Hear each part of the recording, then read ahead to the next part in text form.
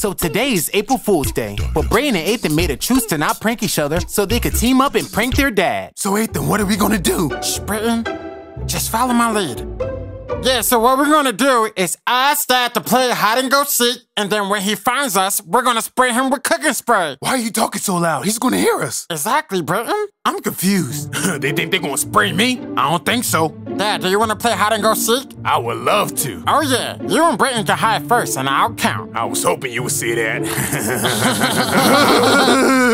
okay. All right. So the dad went in the attic so they couldn't find him, messing up their April Fool's prank. Ha ha ha ha Huh? Here I am. I knew about y'all little April Fool's prank and I messed it up. I told y'all I was the king of April Fools.